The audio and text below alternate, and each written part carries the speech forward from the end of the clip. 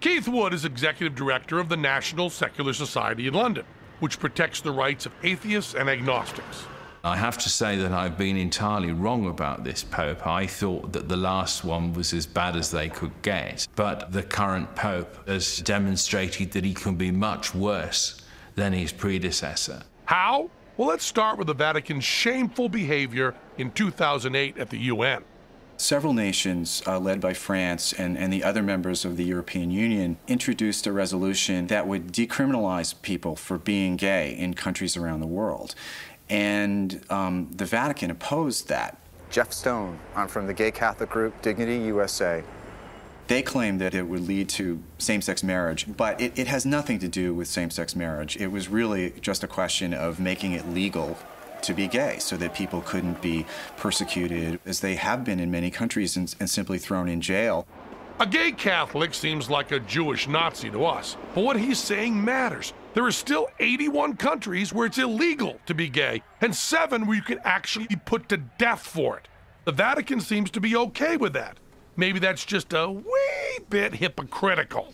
One of the most basic teachings of the Catholic Church is that all people are children of God and that they're entitled to dignity and respect. So it seems that the church is not really living up to that ideal.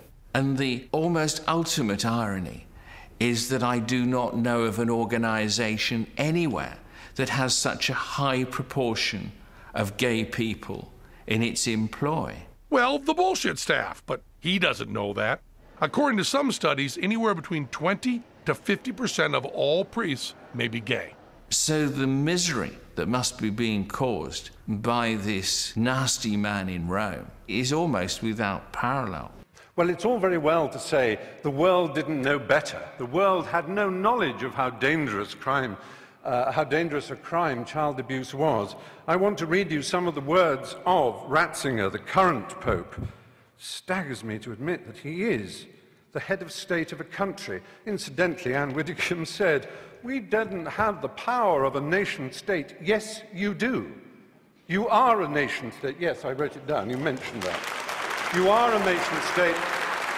And it is no accident that the Cairo, the UN Cairo Population Conference, when they were trying to do something about the world's population spinning out of control, Vatican City, as a nation state represented at that conference, made a joint statement with the Islamic countries of the world, notably the most extreme Islamic countries of the world, led by Saudi Arabia, and it, it, began on behalf of the revealed religions of the world, dot, dot, dot. And what it did was essentially hobble and veto any possibility of women's sexual freedom in the world, because as we know, the Islamic religion and the Catholic Church have never been anything other than implacably opposed to women's choice in their own bodies and their destinies.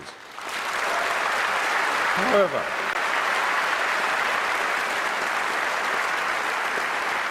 so Ratzinger in 2003 was he was he was prefect, I, I'm not making this up, he was prefect of the Congregation of the Doctrine of the Faith.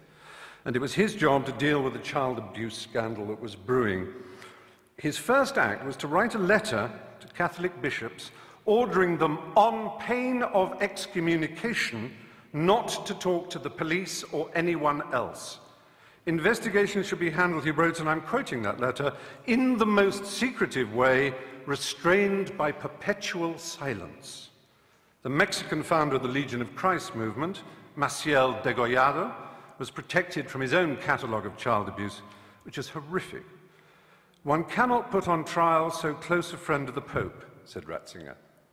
When the allegations could no longer be denied, Maciel was sentenced, sentenced to a life of prayer and penitence. and Ratzinger described the whole affair and that of Bernard Law of Boston, to which my colleague also referred, uh, as causing suffering for the church and for me personally. He also said the answer would be to stop homosexuals from being allowed into the church. There was a period when Uganda had the worst incidence of HIV AIDS in the world.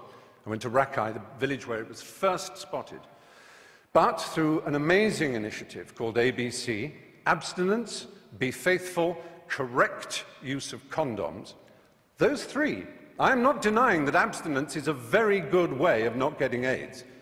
It really is. It works. It, so does being faithful. But so do condoms. And do not deny it. And this Pope, this Pope, not satisfied, not satisfied with saying condoms are against our religion, please consider first abstinence, second being faithful to your partner. He spreads the lie that condoms actually increase the incidence of AIDS. He actually makes sure that aid is conditional on saying no to condoms. I have been to, there's a hospital in Bwindi in the west of Uganda where I do quite a lot of work. It is unbelievable, the pain and suffering you see